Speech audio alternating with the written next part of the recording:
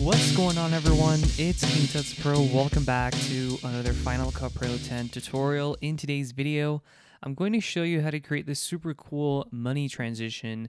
So if I go back here and I push play, we're going to be creating something similar to this also guys, be sure to check out my Sellfy store in the description of this video. I currently have two packs available for purchase, so if you guys are wanting to add transitions in a matter of seconds, click this one here, which is going to include 24K drag and drop transitions for Final Cut Pro 10, Premiere Pro, DaVinci Resolve, and more. This is also M1 compatible and no plugins or any special type of installation is required for this. We're going to be creating just that. So the first thing you want to do is head on over to Google. So I went on over to Google and typed up money. It doesn't have to be US currency, it can be really anything.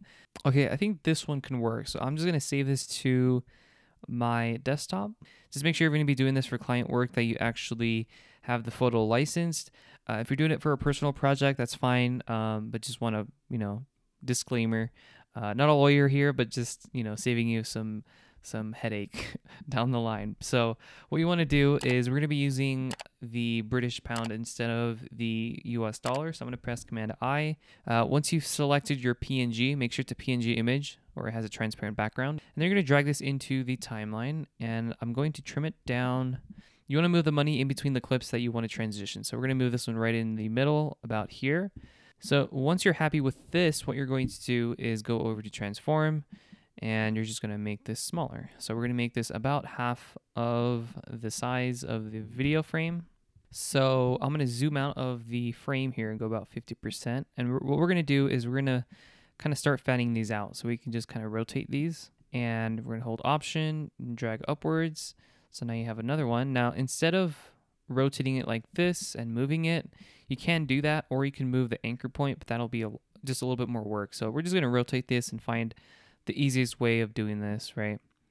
So right there, we're gonna hold option, drag upwards. So now there's a third copy. We're gonna drag this one down, use this little blue um, kind of circle or wheel. Okay, and that looks good. We're gonna do about six bills, or just enough to cover top and bottom. So from here, we're gonna drag this one down, get a little bit more dramatic on this one. Hold option, drag upwards. So what we're doing here is we're just covering the whole left side of this clip. So that's what you want. You want to make sure that it's completely covered. We'll do one more here. So I'm going to hold option and I'm going to drag that one above and I'm going to move this one down and also rotate this. Cool. All right. So once you're happy with your bills, you're going to hit done and you're going to select all of the clips of the money and then you're going to right click on that and you're going to hit new compounds clip to group them. I'm going to name this left side and hit OK. So now this acts as one single clip. Now I'm going to scale this up actually because we want to fill up the frame. So we're going to go over to transform and that looks good. And another thing I want to point out though, if I go down, is you want to make sure that this is not being cut off whatsoever. Because if you have it cropped, I suppose, to just this area, it's not going to work as a seamless transition. So just letting you know that. But right now it looks good. I know it looks like it's cut off, but it's actually not. So now what we're going to do from here is make sure that this side is covered. So just drag that up. Make it as big as you can, right? Something like this. And we're going to move this anchor point over to the corner over here. Just move it back and then move the y-axis around here. And then you can move it back and you, now you can go over to the rotation. So you can do something like this. I think this looks personally a lot better, so we're going to just do that. So you only have to do this once. So from here, at the very beginning of the clip, click on your empty area here to bring up the tools under transform. And you're going to hit the plus icon to add a frame. And we're going to start this off out of the screen. So we're going to go over to the rotation tool here we go, rotation, and we're going to drag this up all the way out of the frame. And then we're going to go about here, right? This is where it's going to have to cover the screen. So we're just going to type under rotation, type in zero and press enter. So now when we go back and I push play, it's going to do something just like this. Super cool. So once it's about, if I move the playhead in the middle, we're going to go one frame over to the right and we're going to add a keyframe and then we're to go all the way to the end, go one frame to the left, go back to the rotation tool and just move this back up like this. And then click done. So if I push play, it'll look just like this. Now, if you think this is too quick because there's only one keyframe, right click and go to show video animation and extend this outwards. So look a little bit like this. Perfect. That looks good. So once we're here, we're going to just hold option and drag upwards. All right, so once you made your copy, we're going to have to reset the transform and everything here. So we're just gonna go back to transform and we can scale this up again. But we're gonna have to flip this image. Uh, if you do flip it, however, just letting you guys know, it's gonna flip the image, so might, the lettering might be backwards. Uh, that's the quickest way that you can do it if you don't want to spend extra time readjusting the fanning from instead of it going from left to the right side, right? It's going to be the opposite. So it'll look something like this. So if I go over to negative under X, scale X, and I type in negative 135.24, it'll look like this. But of course, you don't want to flip the image.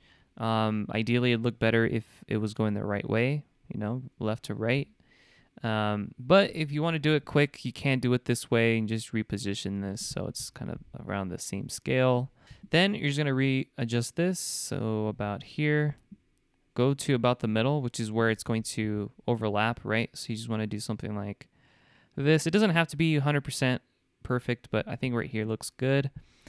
And perfect. So now we're going to have to move the anchor point again over on this side. So just go over to the anchor and move this so it's right over here. And for the y-axis, about here. And then you just want to move this back into place. So something about here. Okay, so now when we go to rotate this, it should look something like this. Perfect. So I'm going to reset that and I'm going to go over to the beginning and I'm going to add a keyframe now. So we're going to hit plus to add a keyframe. We're going to re-enable this clip here. So select the bottom one, go to show video animation, and do the same thing for the top clip. We're going to move that so it matches exactly here. So from here, um, before we do that, we're going to move it at the beginning and you're going to go over to the rotation and you're going to move this up out of the screen. So something like this. And you're going to go about here and you're going to type in zero and press enter. So now they'll both come in like this. And then for this frame here, you're just going to add a keyframe.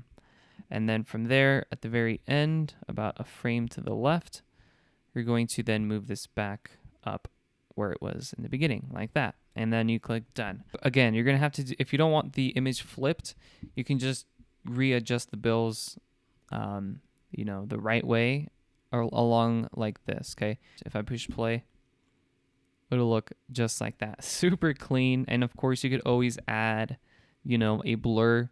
Now, this is one way of doing it. Of course, if you want to do it my way with the pack, it'll save you all of this time in a matter of seconds. And if you guys don't believe me, I will show you. So if you guys go in the description and you check out the pack, there's 20 different transitions. It's a, a variety pack. And you import the fanning hundreds, which is this one.